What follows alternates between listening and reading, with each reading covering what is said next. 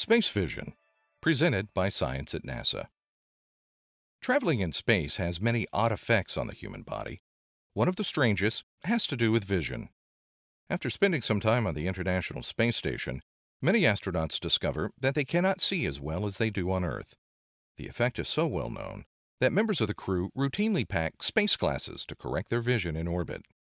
Researchers still aren't sure what causes the problem, but they would like to solve it before humans travel beyond low Earth orbit.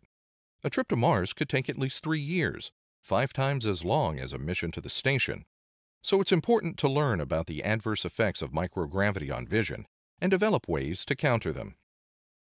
Christian Otto, of the University Space Research Association in Houston, Texas, is one of the researchers trying to get a clearer understanding of space vision. He is the principal investigator of the ocular health study now underway on the space station. An accomplished off road triathlete with an interest in human performance in extreme environments, Otto is well suited to this PI role. He once toted an ultrasound machine up Mount Everest to study the effects of oxygen deprivation on intracranial pressure. Now, with the ocular health study, he's remotely conducting similar tests on astronauts. Testing astronauts before, during, and after their missions to the station shows us their status pre flight and helps us identify changes that result from the environment and microgravity on the station, explains Otto. On the space station, the body's fluids, particularly the blood supply, shift toward the head, much like what happens on Earth when you lie down. Therefore, it is hypothesized that the pressure inside the skull increases. That increase in intracranial pressure is believed to be transmitted to the eye and optic nerve, leading to changes in eye structure and visual acuity. Optic disc edema, or ODE, swelling of the optic disc, is the most critical change. If it persists, it can lead to a loss of peripheral vision and eventual blindness.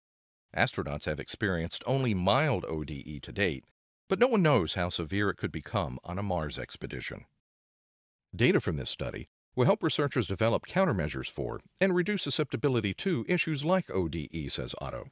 It will help us develop targeted treatments to prevent problems. Adding preliminary data from the ocular health study to data from previous vision impairment and intracranial pressure, or VIIP studies, Otto and his team have made some interesting discoveries. Around 70% of 33 International Space Station crew person subjects have experienced mild VIIP, and we're finding that men are affected about twice as severely as women. ODE is measured on a scale of 0 to 5, with 1 being the least affected and 5 being the most. 6 out of 7 subjects with ODE were grade 1, while the 7th subject had a grade 3I. All 7 subjects that developed clinical grade ODE were men.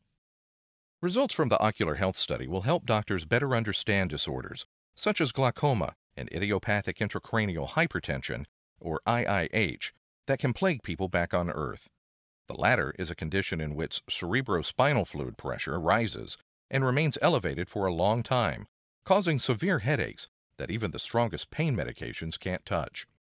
Like glaucoma, the condition sometimes leads to vision loss and blindness. Says Otto, this study will tell us more about non invasive measurement of intracranial pressure. The way doctors measure it now is through a spinal tap or making a burr hole in the skull and inserting an intraventricular monitor. We are pushing the envelope in several areas of terrestrial clinical medicine. NASA's Ocular Health Study is providing new insights in neurology, neurosurgery, ophthalmology, and cardiovascular physiology. The clinical community is very excited. For more on studies on the International Space Station, go to www.nasa.gov/station for more clear eyed science news, stay tuned to science.nasa.gov.